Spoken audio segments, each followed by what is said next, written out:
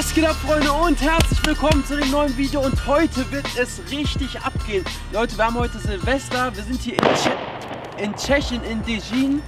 Film mal bitte die geile Location ab. Wir sind hier an einem See, an einem Fluss. Ich weiß nicht, wie man das nennen soll. Hier ist ein schönes Schiff, eine Brücke. Es knallt auch schon ordentlich im Hintergrund. Hier oben sieht man noch irgendwie 2019. Also noch ist es 2019 aber bald nicht mehr. Wir haben jetzt 18 Uhr, Leute, und wir testen heute alles, was es im Kaufland in Tschechien zu kaufen gab. Und zwar alle möglichen verschiedensten Batterien. Alles richtig Premium Feuerwerk, Leute. Ihr könnt euch so auf dieses Video freuen. Ein richtig fettes Video, Leute. Daumen hoch für dieses Video, ohne Witz. Bei dieser Location, das wird einfach nur mega fett. Ich freue mich so hart. Ohne Witz. Wir haben jetzt hier verschiedenste Bombenrohre. 6er Pack hier am Start. Dann haben wir hier hinten noch ein 4er Pack Bombenrohre. Die müssen wir dann einfach mal miteinander vergleichen. Dann haben wir hier jetzt verschiedenste Batterien. Die Lovec, eine Fächerbatterie. Hier, ich kann es gerade über Kopf nicht lesen, aber ihr könnt euch ja selber mal so einen Überblick hier verschaffen. Hier noch eine richtig fette Super Show 6. Ne, Super, Super Show, sorry. Es gibt die deutsche, die heißt Super Show 6 von Jorge. Hier unten haben wir noch einen richtigen Brocken, Alter. Die Magnum 40 mm Bomben, Bombenrohre da drin. Äh, Leute, es wird einfach nur übelst fett. Hier haben wir noch ein paar Böller, die es im Kaufland zu kaufen gab. Eine Fontäne und auch noch ein Raketenset. Und zwar das Pyromix. Hier seht ihr es. Und ja, Leute, ich würde mal sagen, wir fangen einfach mal mit diesen kleinen Böllern hier an. Mega Petarda.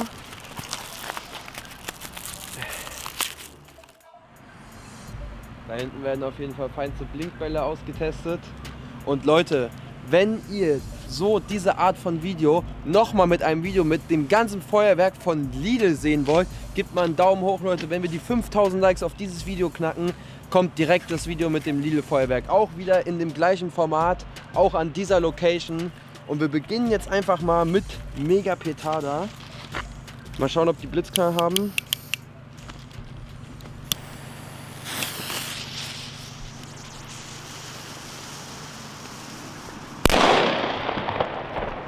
Oh ja, also für die Größe, Leute, ordentlich.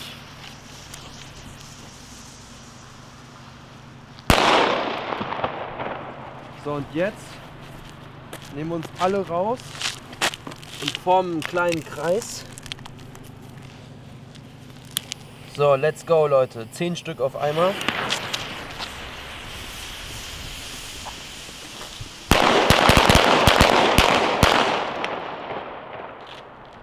Feinste kleine Blitzknallböller bockt auf jeden Fall. So, was haben wir jetzt? Wir haben noch dieses Raketenset. Wir machen jetzt mal die Santorin. Nicht Santorini, sondern Santorin. Eine kleine Fontäne. Bin ich mal gespannt, was da so rauskommt.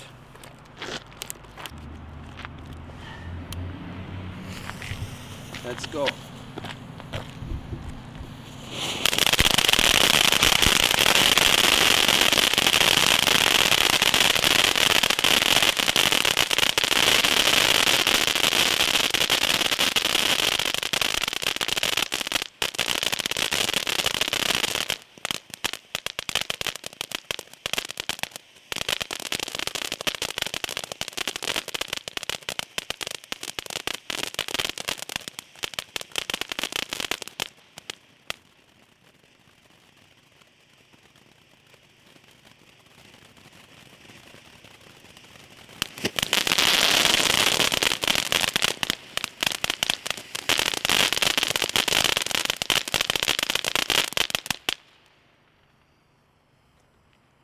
Geil.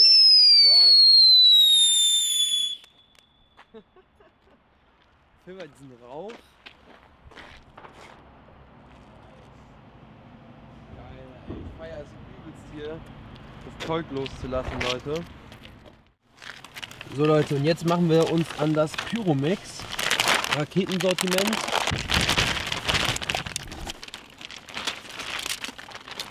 So, da unten haben wir noch unser Abschussrohr.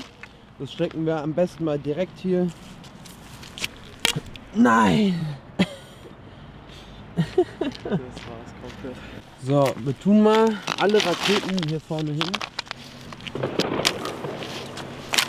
Geil. Ich liebe es, Junge. Und jetzt gibt es die erste Rakete aus dem Set.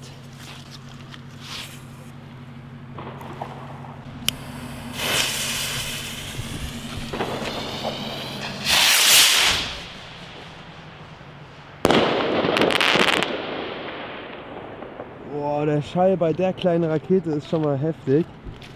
Und wir machen jetzt mal die rote Rakete. Ich will gar nicht wissen, wie der Schall jetzt hier ist bei den fetten Dingern. Und die Leute am Schiff können sich auf jeden Fall jetzt schön amüsieren. Kostenlose Show.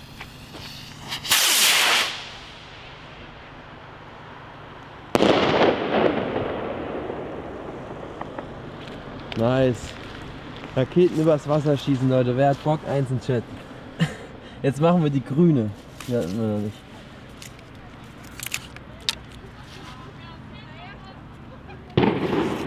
Alter, geil.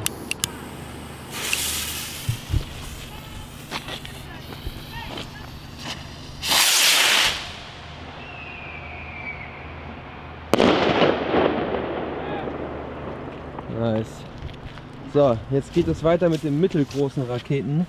Und zwar die hier.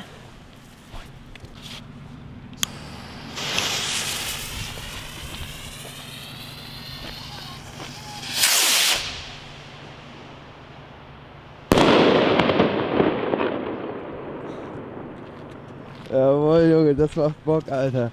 Jetzt die grüne. Oh, ein bisschen schräger, Alter.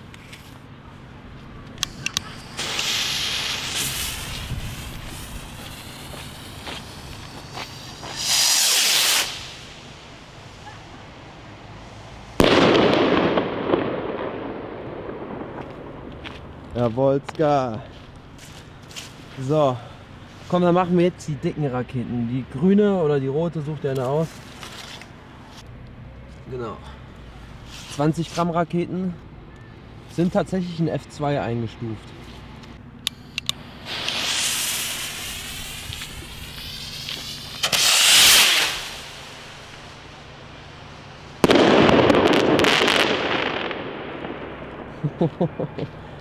Die ist ein bisschen arg schräg geflogen. Ja, nicht so. So, jetzt die grüne. Jawohl.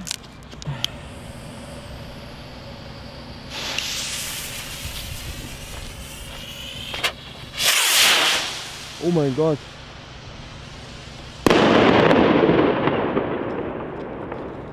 Also die ist äh, sehr, sehr schräg geflogen. Machen wir jetzt mal die rote nochmal. Direkt aufs Schiff. Ich hoffe nicht.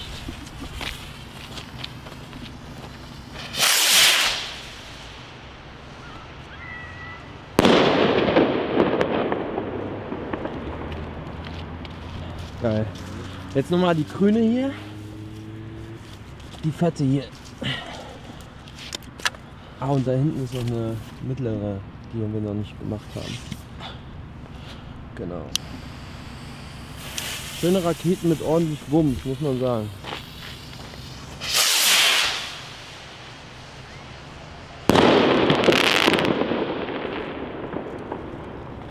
Ja, Mann. Und dann jetzt nochmal zum Schluss hier die silberne, die hatten wir nämlich noch nicht. Die mittelgroße. Die mittelgroßen fand ich irgendwie sogar besser als die großen.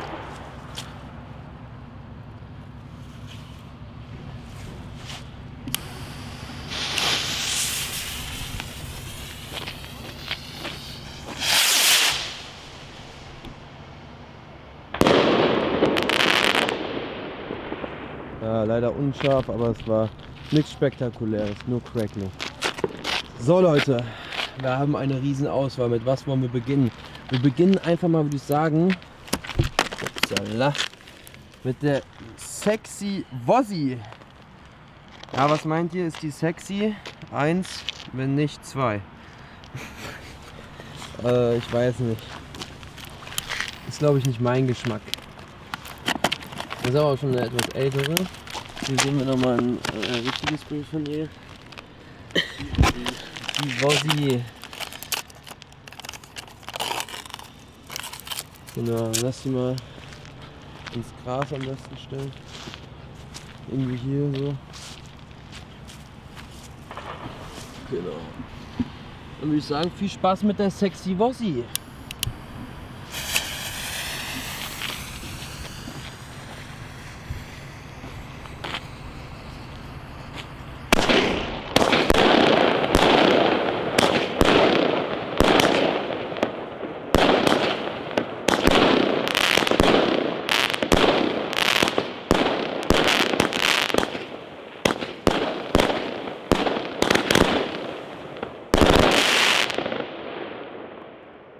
Jawolska, Junge.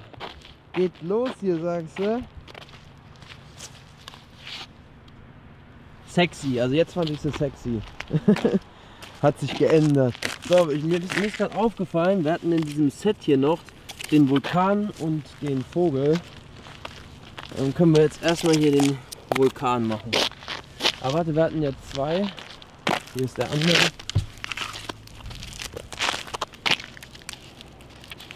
So, machen wir beide auf einmal.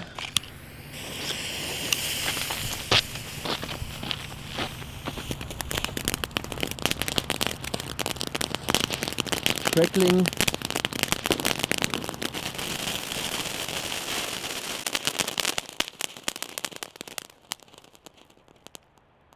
Okay, das war's schon. Hätte ich mir jetzt ein bisschen mehr erwartet. Und dann haben wir noch die zwei Sonnenvögel. Genau, die können wir auch auf Schlag beide machen.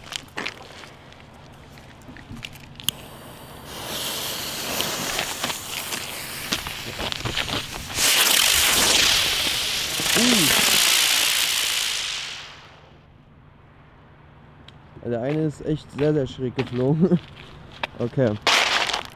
So, dann würde ich sagen, machen wir jetzt mal mit den Bombenrohren weiter. Wir haben jetzt hier ein 6er Pack und hier ein 4er Pack. Und ich würde sagen, wir vergleichen die jetzt einfach mal. Perfekt. Und ich würde sagen, also wir vergleichen jetzt erstmal so im optischen. Hier haben wir einen von dem 4er Pack. Hier haben wir einen vom 6er Pack. Ähm, so vom optischen ist auf jeden Fall der aus dem 6er Pack fetter vom Kaliber her. Ich würde jetzt sagen, das hier ist 35 mm und das sind 40, 45 mm. Ich glaube 50 sind es nicht ganz, müssten 45 sein. Steht jetzt aber hier hinten auch nicht drauf. Und ja, dann würde ich sagen, beginnen wir mal mit dem Vierer hier, Victor. Schon geil hier. Viktor Cisic. Okay, sogar mit Nachname hier. Jetzt zeig mal, was du drauf hast, Viktor.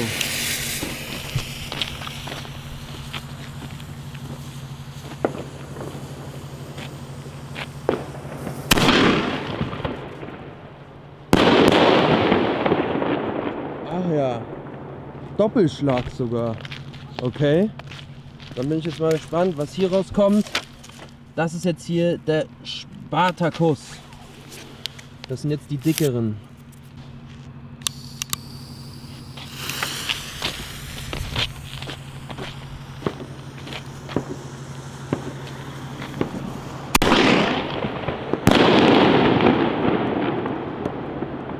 Oh, also vom Zerleger her eindeutig wuchtiger, vom Bouquet her ungefähr gleichwertig würde ich sagen. Machen wir jetzt mal hier den Cihadlo. äh, wieder so eine Biene. So, hier sind sie, die beiden vereint. Dann würde ich sagen, let's go.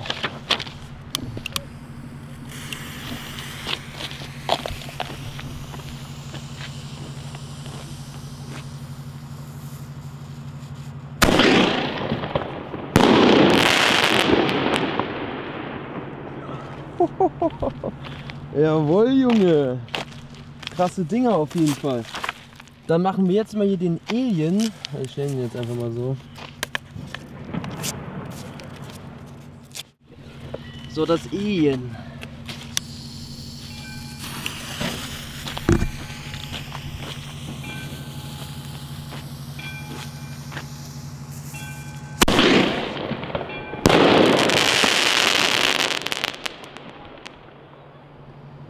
Ja, Bombenrohr. Dann machen wir jetzt mal wieder so einen Vierer. Mal gucken, ob das wieder ein Doppelschlag ist. Wie nennt er sich hier? Sonja, die Sonja. Okay. Gucken wir uns die Sonja mal noch mal kurz an. Ei, wer ist hübscher, Sonja oder Wossi? Ich finde die Wossi.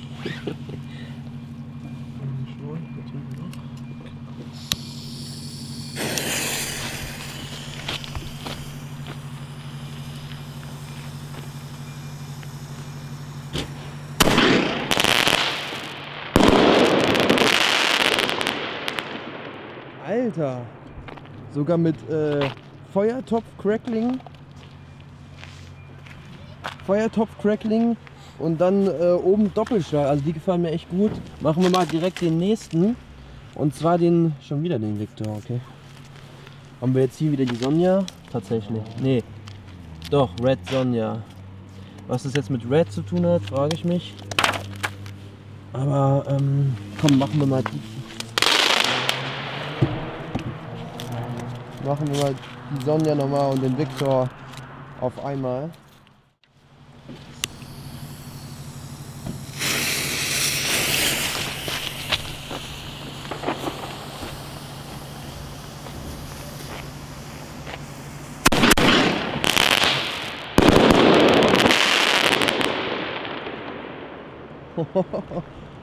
nice, Mann, nice, Mann. Ich merke schon, wir haben hier oben äh, Zuschauer. Die feiern es auf jeden Fall, so wie ich. Wir haben hier Dracula, ich, ähm, den, uh, den, den Rob. Okay. Was haben wir hier noch? Äh, den Silenge Max. Den Silenge Max, okay. Und äh, ja, die drei probieren wir jetzt auch mal auf einmal hochzuhauen. So, let's go. Drei Stück auf einmal.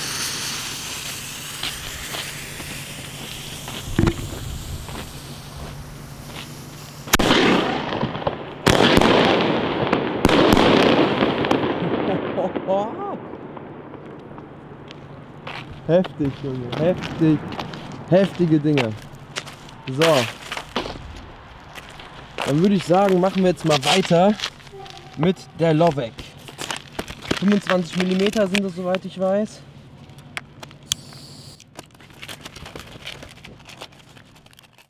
So, viel Spaß. Lovec Batterie aus dem Kaufland. 25 mm, 25 Schuss.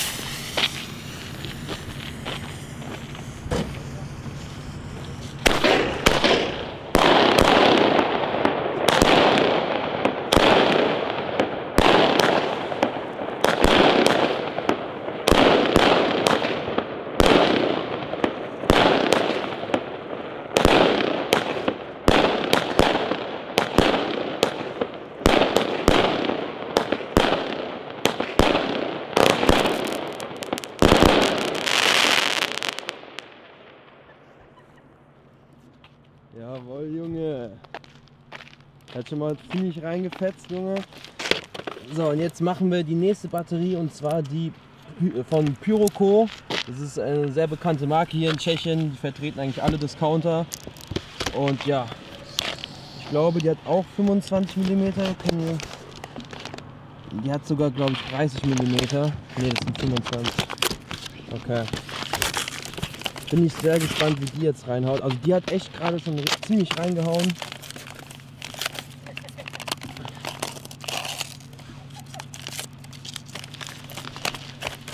So, los geht's mit der Diabolo Diabo Liga. Viel Spaß.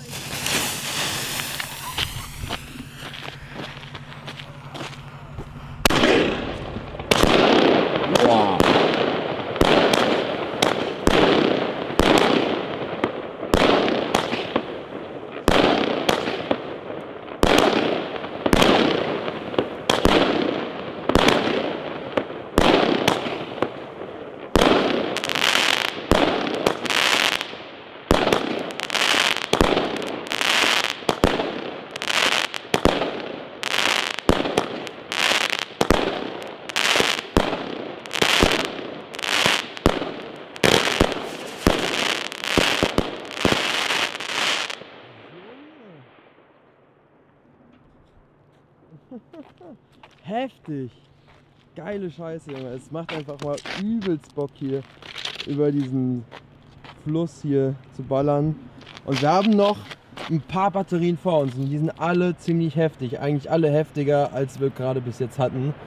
Und wir machen mal eine Fächerbatterie und zwar machen wir jetzt hier die Lucipa. Mit einem fetten Dracula vorne drauf, äh, Teufel, sorry.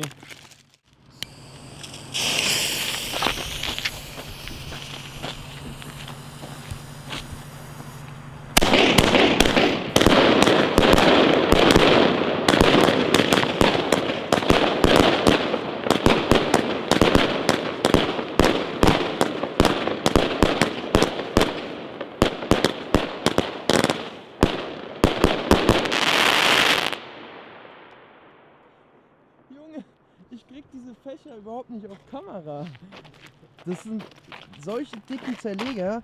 Meine Kamera kriegt dies trotz Weitwinkel einfach überhaupt nicht drauf. Völlig crazy.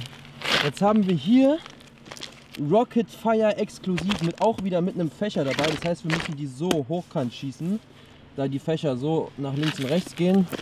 Genau, dann mach ich mal auf den Kasten hier. Den Müll werden wir nach dem Video auf jeden Fall wieder entsorgen. Das ist natürlich klar. Wir sind nicht solche Assis, die das hier liegen lassen. Alles klar, so rum. Und dann zünden wir an das Ding. Sehr, sehr gespannt.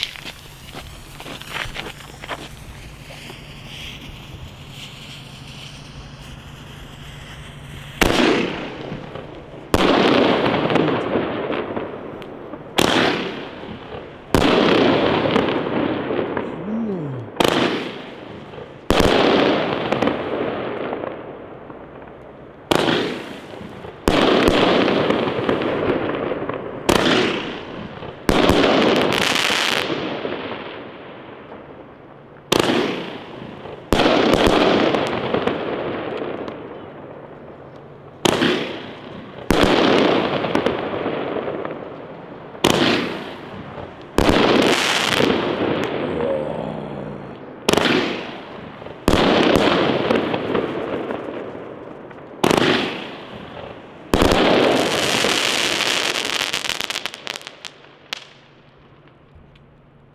Alter.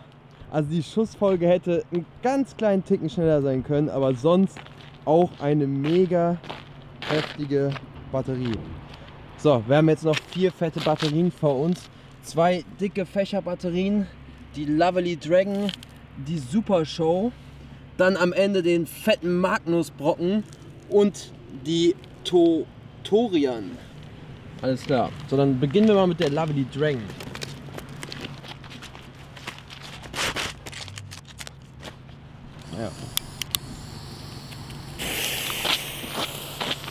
Schöne Fächerbatterie, ich gehe mal von aus.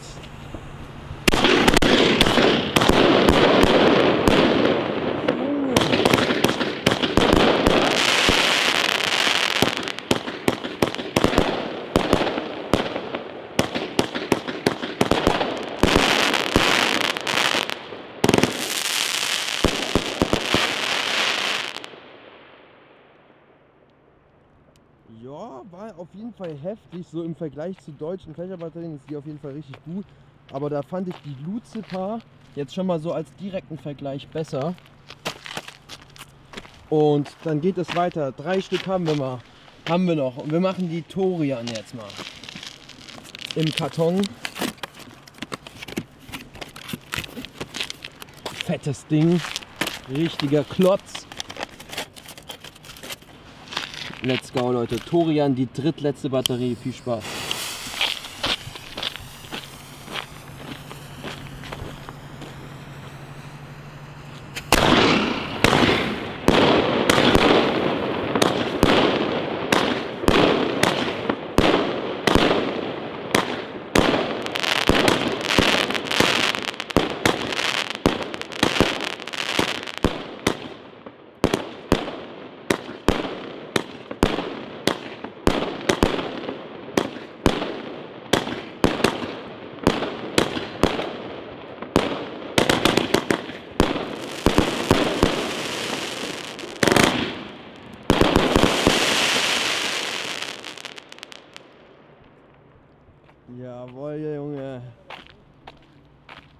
er kommt jetzt gleich.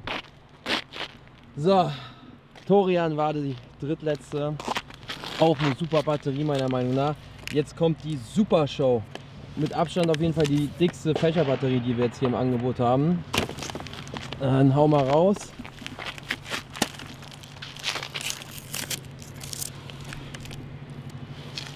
Geil, Leute. Ihr müsst hier live dabei sein. Es ist einfach nur geil.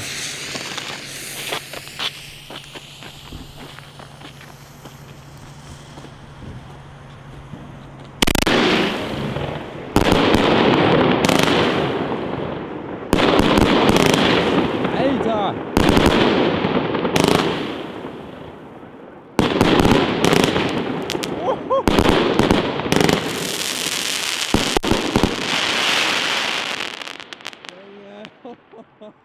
Wir nehmen hier komplett Degin auseinander. Alter, was geht hier ab? Oh, wir haben eine Autoalarmanlage ausgelöst.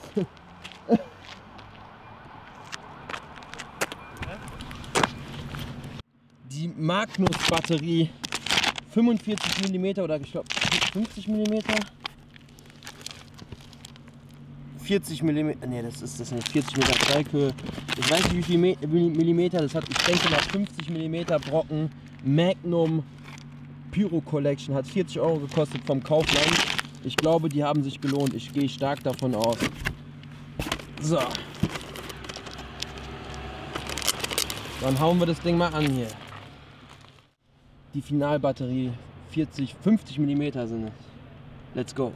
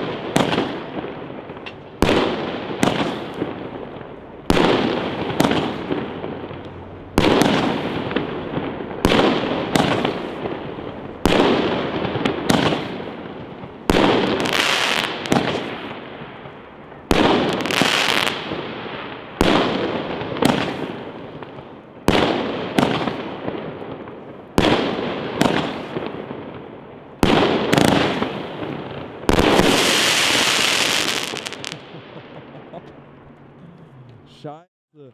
Also ja, der erste Zerleger war übelst krass, da habe ich mir übelst das Ding erhofft. Aber das war... Und da kommt die Antwort. Aber sonst, ja, also auf jeden Fall eine geile Batterie und für 40 Euro würde ich die mir auch immer wieder mitnehmen, so, aber ja, hätte, hätte, ja, hätte auf jeden Fall auch besser sein können.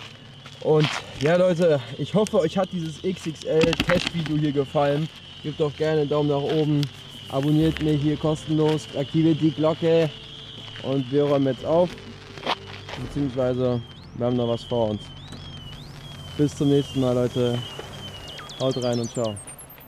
Es ist das Ende des Jahres, wieder mal Silvesterzeit, die ganzen Läden haben offen und ich kauf alles ein. Heute ist mir nicht zu teuer, ich hab genug Geld dabei, weil einmal im Jahr darf ruhig etwas mehr sein. Also fahr ich mit Auto, weil es einfach zu viel wird. Egal ob's Böller, Raketen, Fontänen oder Batterien sind, ich seh Väter und Söhne einkaufen im Laden. Es erinnert mich an meine.